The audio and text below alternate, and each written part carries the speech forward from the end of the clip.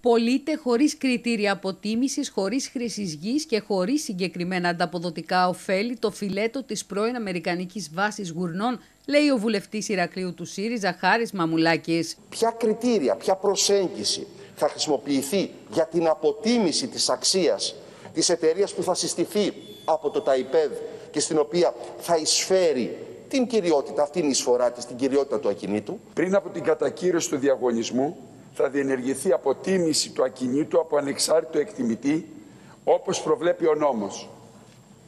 Στη συνέχεια, το ΤΑΙΠΕΔ θα συστήσει εταιρεία ειδικού σκοπού, στην οποία θα εισφέρει κατά κυριότητα το ακίνητο ως μοναδικό περιουσιακό στοιχείο και στη συνέχεια θα μεταβιβάσει στον πλειοδότη του διαγωνισμού το σύνολο του μετοχικού κεφαλαίου της εταιρείας. Σε ερώτησή του στη Βουλή αναφορικά με τους όρους ιδιωτικοποίησης του ακινήτου, άσκησε σκληρή κριτική στην κυβέρνηση για το γεγονός ότι χωρίς καν να έχει ολοκληρωθεί η διαδικασία έγκρισης του ειδικού σχεδίου χωρικής ανάπτυξης δημόσιου ακινήτου, οριμάζει τις συνθήκες για τις χρήσεις γης. Και εδώ λοιπόν έχουμε μια δημιουργική ασάφεια από την πλευρά σας. Δεδομένου ότι ο διαγωνισμός είναι εν εξελίξη, χρήση γης δεν έχουμε.